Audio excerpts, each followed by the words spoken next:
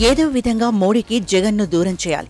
ఆపై చంద్రబాబుకు దగ్గర చేయాలి. ఇదే కదా తెలుగునాట ఓ సెక్షన్ మీడియా తహతహ ఇందుకోసం ఎన్ని ఎత్తులు ఎత్తాలో ఎత్తుతూనే ఉన్నారు. తాజాగా వేసిన ఓ ఎత్తు చూసి భలే నవ్వొస్తోంది.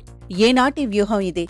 జమానా కాలంలో ఉండేవి ఇలాంటి ఎత్తుగడలు. ఇప్పుడు జనం తెలివి మీరిపోయారని గమనించాలి. ముత్యాల మొగ్గు సినిమాలో హీరోకి తన కూతుర్ను ఇచ్చి పెళ్ళి చేయాలన్నది విలన్ ఆలోచన.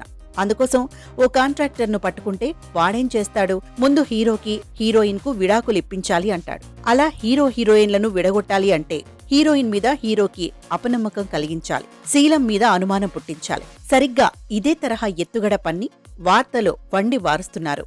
ఎన్నికల తర్వాత అవసరమైతే మీకు సహకరిస్తాను అని కాంగ్రెస్కు జగన్ కబురు చేశారట. అందుకే కాంగ్రెస్ అర్జెంటుగా వ్యూహం మార్చుకుందట.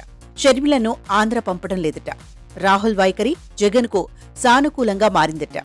ఇది వ్యూహాత్మకంగా జల్లిన బురద. మొన్నటిదాకా షర్మిలను ఆంధ్రాకు పంపుతున్నారు. ఇక జగన్ పనైపోయింది అని టమ్కు వేసింది ఇదే మీడియా. ఇప్పుడు జగన్ కాంగ్రెస్తో మిలాఖత్ అయిపోయారా అని చెబుతున్నది ఇదే మీడియా. మొన్నటికి మొన్న నడ్డాతో కలయికకు అంతా రెడీ అయిపోయిందనే సూచనలో జనంలోకి పంపడానికి ఫోటో గిమ్మిక్ వాడారు. అది కాస్త బయటకు వచ్చి అబాస్ అయిపోయింది భాజపాకు దగ్గర కావడానికి చంద్రబాబు ఆత్రం అర్థమైపోయింది. ఇప్పుడు ఇలా కాదు. జగన్ ఉంటే బాబు అవసరం భాజపాకు రాదు. అందువల్ల జగన్ను ముందు దూరం చేసేయాలని ఈ పన్నాగం మొదలెట్టారన్నమాట. జైల్లో ఉండటానికి సిద్ధపడి మరీ సోనియాను ఢీకొట్టిన జగన్ ఇప్పుడు అటు ఎందుకు వెళతారు? మోడీ ప్రభుత్వమే మళ్ళీ రాబోతోందని క్లియర్ ఇండికేషన్లు ఉన్నాయని తెలిసి కూడా ఎందుకు తప్పు చేస్తారు?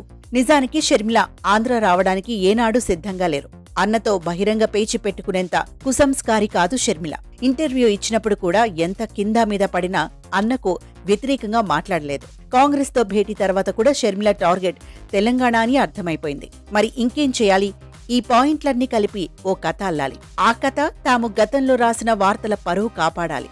ఆపై మోడీకి జగన్కు మధ్య విడాకులకు దారితీయాలి. ఆపై బాబుకు భాజపాకు మళ్ళీ మరోసారి ముడివేసి పెళ్ళి చేయాలి. అలా చేయాలంటే ఇలాంటి కథనాలు వండి వార్చాలి అందుకే జగన్ ఒకేసారి మోడీతో కాంగ్రెస్తో కాపురం చేస్తున్నాడని కాంగ్రెస్ కోటరీలోకి ఎంటర్ అయ్యాడని. ఇలాంటివి రాసి మోడీకి ఆగ్రహం తెప్పించాలి. మోడీకి జగన్ మీద ఆగ్రహం రాకపోతే ముందుగా చంద్రబాబు ఇన్కమ్ ట్యాక్స్ కేసు బలంగా మారిపోతుందేమో. అదో పెద్ద భయం కూడా దీని వెనక ఉండే ఉంటుంది. ఊరక వ్యాసాలు వండివార్చరు మహానుభావులు.